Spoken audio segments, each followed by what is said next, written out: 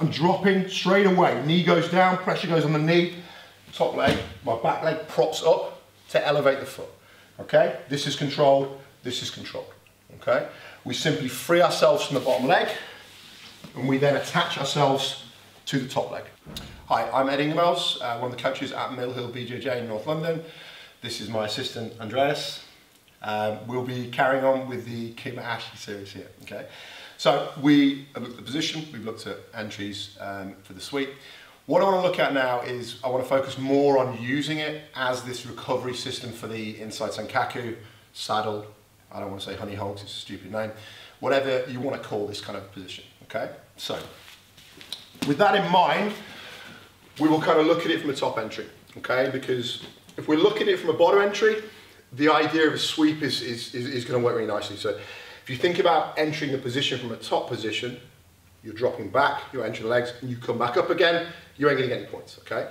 Sweep is only appropriate when you're entering from the bottom, whether it's reverse Riva, whether it's going to be your kind of butterfly or your sumi gaeshi hooks, okay? So again, we'll look at it from a, failed back step into, into the inside Sankaku. Okay, so with my knee slicing, whatever, we look for the back step, he turns, he frees the knee here, okay? We're going to assume that we have the momentum going backwards onto the hip so we can't redirect our energy and, and, and jump straight onto the far leg. So as he turns and we're falling, we're going to land here. So instead of failing on the position, the first thing I have to do when I get here is consolidate the position and, and try and salvage something from the missed back step, okay? So straight away, my knee drives to the floor, my shin drives to the floor. I need to pin his knee down as much as I can to the floor. The second thing, I want to come onto my foot of the back leg, okay? Because if my back leg stays down here in this kind of weird scissor position, this leg is too low, okay? The higher this leg is, the harder it's going to be for him to pull the leg free, okay? So straight away, I step up, and I'm coming into this position my knees are quite close together. So I'm almost kind of scissoring and trapping his foot on my hip, but more importantly, I'm making sure that the, the foot stays significantly higher than the knee to prevent him pulling out. Okay, just very quickly. If his leg straightens here, it's very easy for him to pull out.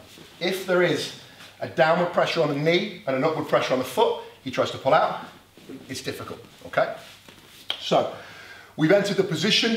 As we fall back, we're assuming you've collected the far leg because it's, it's, a, it's a main thing people rely on when they look for the inside Sankaku position. So we've landed with the Kima Ashi on the, on the, on the near leg, controlling the position, and we've landed again with the, the control of the top leg. Okay, so we have significantly strong control of both of the both of the limbs. Okay, so a quick extraction for him is going to be difficult. He has to work. Okay, easiest thing to look at is transitioning to the far leg. Okay, so once we've got to this position and we've lost the knee line, effective submissions on this leg are, are quite poor. We'll look at one later, but for now, we simply can aim at controlling and maintaining the position on this leg to prevent the extraction. Okay. All we will do is we will hip escape away as before.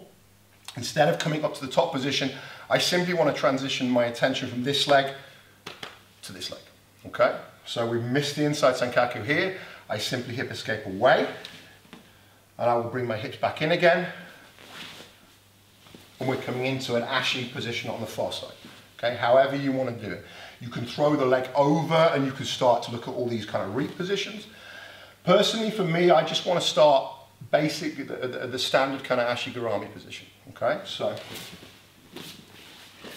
get this over. Coming in, we back step, he turns, I'm dropping straight away. Knee goes down, pressure goes on the knee, top leg, my back leg props up to elevate the foot. Okay, this is controlled, this is controlled.